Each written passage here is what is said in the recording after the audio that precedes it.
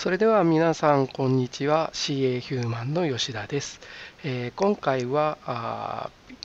空気圧機器実習シミュレーターと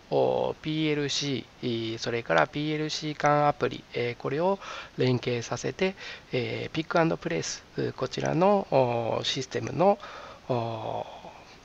実例、えー、ご紹介したいと思います。えー、こちらのシミュレーターですね、えー、はこのソフトから起動できるように作っておりますんで、えですんで、えこちらシミュレーターを起動します。ただ、あその前にですね、えできればあシミュレーターとこの通信アプリ、え通信するためにはああらかじめですねシリアルポートを開いておく必要があります。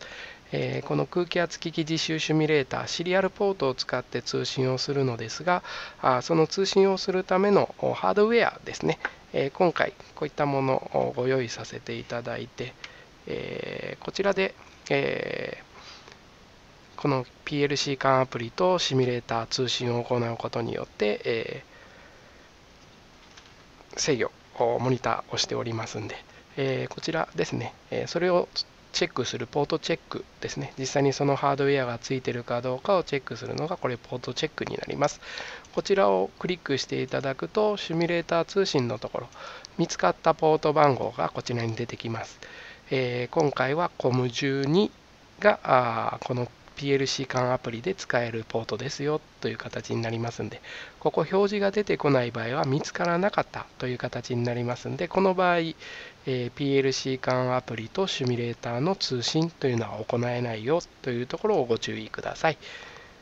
で、12番選んであるんですが、この状態でシミュレーター通信開始と押していただくと、シミュレーターからの通信待ちとなります。この後にシミュレーターを開いていただくと通信開始という形になりますんで、こちらですね、シミュレーター起動ということで起動したいと思います。で、えー、こちらの方ですね、オープンというシミュレーター起動のボタン、こちらを押すと、えー、シミュレーターを開くようで、ちょっと時間かかってしまうんですが、シフトキーを押しながらあ起動していただくと、画面サイズと、あと、ウィンドウドということで、ウィンドウで表示するよという設定ができます。この設定をせずに開くと、全画面表示で、えー、表示されてしまうので、今回はウィンドウ表示で、え表示したいと思います。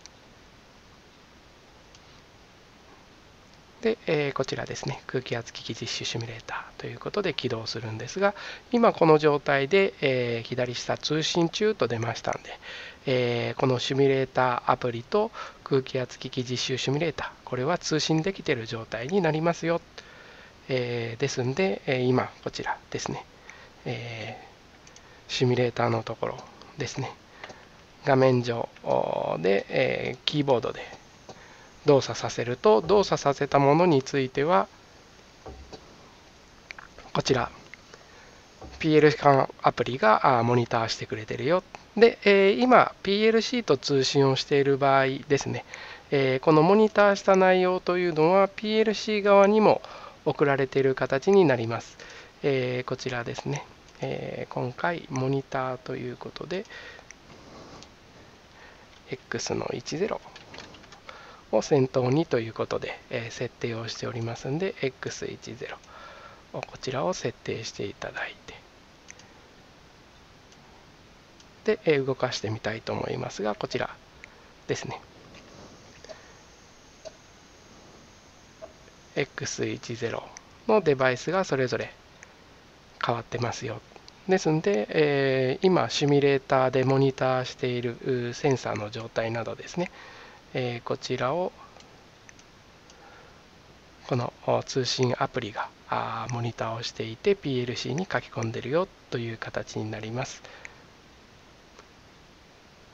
で、えー、今あこちらですね、えー、簡単なラダーを書き込んでみたいと思います。えー、今どういうラダーかというとボタンスイッチ1を押すとシリンダー1を下げる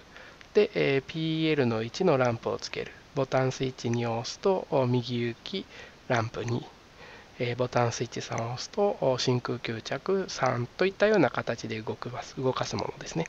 になります、こちらを書き込んでみたいと思います。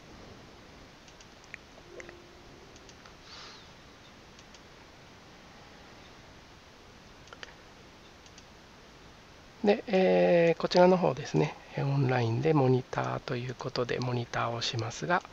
今こちらの方ですね、えー、PLC の IO の番号設定が、えー、10を先頭にになってますので、えー、今回ラダーは80を先頭にで書いてますんで、えー、ちょっと80に変えさせていただきます。この状態で通信開始という形で開始します。で、え今こちらボタンを押すことで、こちらの方ですね、えー、PLC のラダーこちらによって X88 が押されれば Y の80をオンするよ。Y の80をオンしたものがあ 8, 8と80ですね。オンということで、えー、アプリが受けて。でこれを受けることによって実際シミュレーターあこちらのシリンダーが動いてるよという形になります。でこちらの方ですね。右側に動く。で今このボタンの状態は押し左ボタンを押すとモーメンタリーの動き右ボタンを押すとオルタネートになってます。ですんでこちらの方ですね、えー、動きを確認したい場合はあこの右ボタンと左ボタンを組み合わせていただいてですね。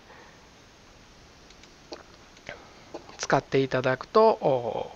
分かりやすいかと思います。このような形で、えー、今、ラダーですね、えー、こちらの方を組むことによって、えー、この中継アプリ使うことによって、えラダーの勉強、学習というのが進みますよ。え実際の配線などを行わなくても、押しボタンやランプといったものもシミュレーター中継アプリの方に搭載しておりますんで、えーなかなか大きな機器や配線などに時間かかってしまうと思うんですがこちらを使えば手軽に、ラダーの学習というのが行えます。で、え、もう一つですね、え、実際にピックアンドプレイスを行うプログラムですね、え、こちらの方を動かしてみたいと思います、えちょっと長いラダーになっておりますがこちらですね。これを書き込んでみたいと思いますが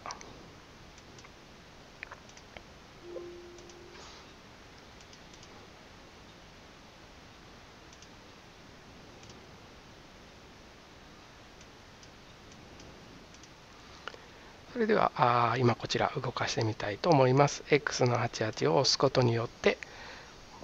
ワークを搬送して元に戻しますよ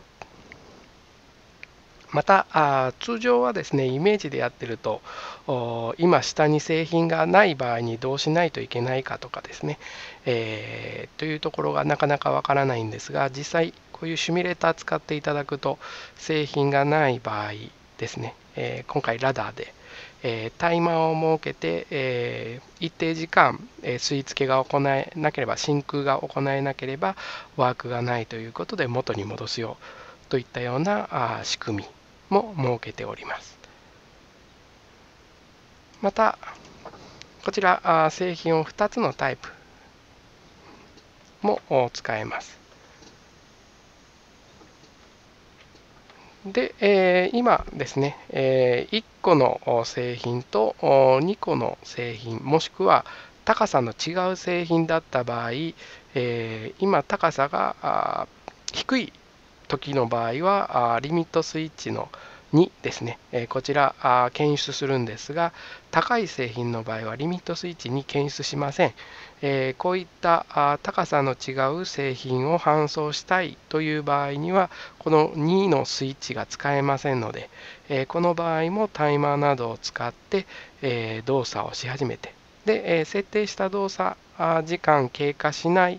え経過してもリミットスイッチ2が入らない場合はとりあえずワークに当たったということで次に進めるとかというそういう操作制御なども学習できます、えー、一応そのラダーもこれ対策しておりますんでこちら動かしてみたいと思います。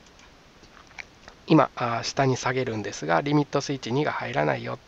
入らずに設定した時間経てば搬送するよで一応こちらですね。検出しなかったというランプこちらの方を表示しております。でもう一回動かして搬送してで、えー、置く時もリミットスイッチに検出できませんので一定時間経てばあ元に戻す。といったようなこともできます。で、えー、ワークがない時にはあ吸い付け、えー、一番下に下がって吸い付けするんだけど真空度が上がらなくてワークがないということで、えー、ランプが4がつくこういったようなものの学習等を行うことができます。一応こちら PLC のラダーの学習としてですね、えこの PLC 管アプリそれから空気圧機器実習シミュレーターというのはものすごく便利で、えかつ簡単にですね、え手軽に行えるかと思いますんで、え教育機関の方等ですね、えご採用いただければと思います。それではあ今回の動画は以上にしたいと思います。えー、皆さんご清聴ごご視聴ですね、えー、ありがとうございました。